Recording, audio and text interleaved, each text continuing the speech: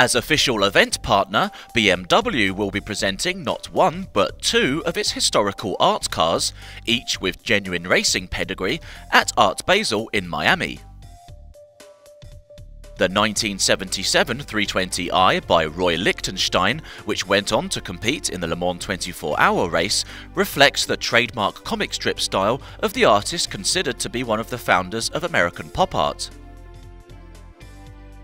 The 1989 BMW M3 by Aboriginal artist Michael Jagamara Nelson features traditional Papunya art depicting kangaroos and emus and was victorious in the Australian AMSCAR Championship.